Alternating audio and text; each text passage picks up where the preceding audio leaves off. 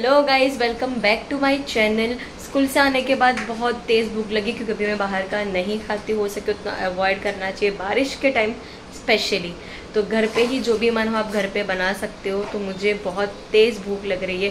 कुछ मस्त चटपटा खाने का मन कर रहा है। तो किचन में आई हूँ और मासी को पूछना है कि आज क्या नाश्ते में बनाना है, कुछ समझ में नहीं आ रहा है। बहुत तेज़ भूख लगी है। कुछ है क्या खाने को या क्या बनाना पड़ेगा मेरे को? सरप्राइज़ बबू आज सब रेडी हाँ बोल नेचुरल बोल चाल से। बोल ने भाई। आज तुम्हारे लिए सब रेडी रखा है। क्या बात है?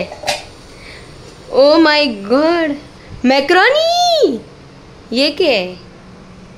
ये क्या है? रेड चिली और गार्लिक का तो सबसे पहले हम यहाँ पे आज बना रहे हैं देसी तड़का, मैक्रोनी। तो इसके लिए बस सबसे पहले पेस्ट बनाना है, जिसमें है लहसुन, लाल मिर्च और नमक। और फिर उस, वो पेस्ट के बाद मैं आपको सारे इंग्रेडिएंट्स फटाफट बताती हूँ। तो घी, शिमला मिर्च, टमाटर, प्याज, लाल मिर्च पेस्ट, टमाटर की केचप, यानी कि टोमेटो केचप। मैक्रोनी को बॉईल करके रख दिया, एकदम खिला खिला मैगी मसाला और ये है मिक्स हर्ब्स आप और भी हर्ब्स ले सकते हो। तो यहाँ पे सबसे पहले हम डाल देंगे घी, देसी घी, एकदम मस्त। आप चाहे तो ऑयल या बटर में भी कर सकते हो, मुझे घी में ज़्यादा हेल्दी लगता है। और देखो कितना कम घी यूज़ किया है, और ये जो मैक्रोनी है, वो भी मैंने गेहूँ का लिया है।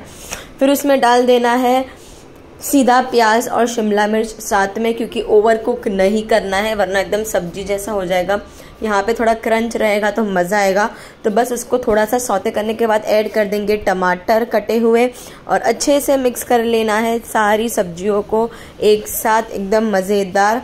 देखो कितना हेल्दी है। हाँ कॉर्न थोड़ा डाल सकते हो, बट कॉर्न था नहीं अवेलेबल तो मैंने एकदम देसी ट्विस्ट दिया है। फिर उसमें डाल देना है नमक और हल्दी सब्ज़ी जितना फ़िलहाल अच्छे से मिक्स करने के बाद उसमें ऐड करनी है वो रेड चिली की पेस्ट थोड़ा ज़्यादा मेरा फ़ोन था नज़दीक, इसके लिए ये थोड़ा धुआँ आ गया था बीच में।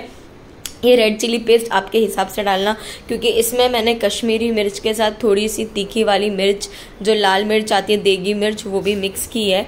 तो आपके हिसाब से आप स्पाइसीनेस हैंडल करना। तो यहाँ पे मैंने ऑलमोस्ट बड़े दो चम्मच पेस्ट के डाले हैं। लाल मिर्च और अभी अच्छे से सौते करना है। इतना मस्त खुशबू आ रहा था क्योंकि उसमें गार्लिक है और इतना टेम्पटिंग लग रहा था। थोड़ी देर ढक लिया था ताकि वो चटनी अच्छे से कुक हो जाए। और कच्चा ना रहे। अगर आपके पास टाइम हो तो आप थोड़ा ऑयल में भी वो चटनी को सौते कर सकते हो तो आपको सीधा डालना पड़ेगा, ज़्यादा कुक नहीं करना पड़ेगा। फिर अच्छे से सारी सब्ज़ियाँ कुक होने के बाद चटनी के साथ उसमें ऐड करना है हमें टमाटर का केचप आप ये स्टेज में टमाटर का प्यूरी भी घर पे बना सकते हो शक्कर डाल के। तो वही आप इसमें डाल सकते हो बट मैंने केचप डाला है। और फिर उसमें डालेंगे ऑरेगेनो चिली फ्लेक्स जो भी आपके पास अवेलेबल हो मिक्स हर्ब्स और एक बात, आप ये टाइम पे आप मेयोनीज या फिर चीज़ भी ऐड कर सकते हो बट मुझे थोड़ा देसी स्टाइल करना था, इसके लिए मैंने चीज़ नहीं डाला है। फिर उसमें ऐड किया है मैगी मसाला, जो और थोड़ा स्पाइसीनेस देगा और टोमेटो केचप की वजह से वो टेंगीनेस बैलेंस हो जाता है तो ज़्यादा स्पाइसी नहीं लगेगा।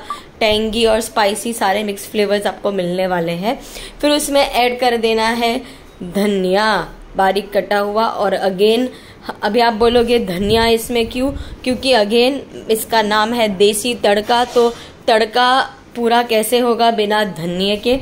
तो ये हमारी जो मेन बेस है, सब्ज़ी का वो रेडी अभी सीधा डाल देना है मैक्रोनी और ये बहुत खिली खिली है, बस बहुत टाइम से थी, इसके लिए तो थोड़ा सा आपको आपको लगेगा कि चिपकी हुई है, ऐसा नहीं है।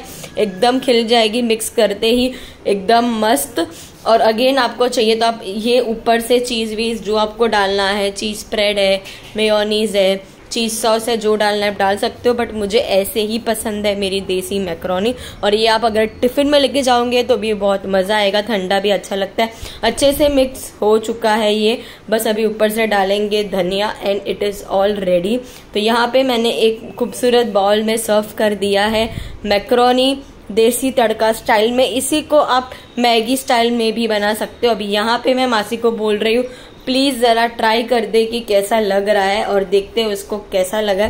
पीछे का आवाज़ थोड़ा कुकर की सीटी पी पी पी हो रही थी तो मुझे नहीं चाहिए कि आप वो सीटी भी सुनो और आवाज़ भी।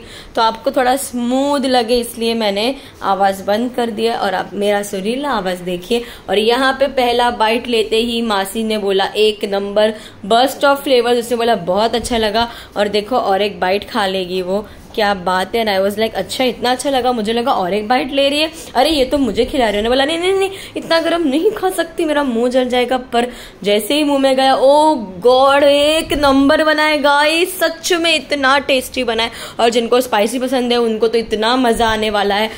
ये खा के, और अगर आपको इसको सेम वर्जन में मैक्रोनी को छोड़ के अगर आपको ये मैगी में बनाओगे ना तो भी एक नंबर है। विदाउट चीज़ भी बहुत मस्त लगने वाला है तो प्लीज़ अगर आपको ये रेसिपी अच्छी लगी तो आप लोग को पता है क्या करना है। फिर भी मैं आपको एक और बार बता देती हूँ please please subscribe my channel जो हितेश्री जानी, और ऐसे ही मज़ेदार वीडियोज़ आएँगे। मिलेंगे नेक्स्ट वीडियो में। बाय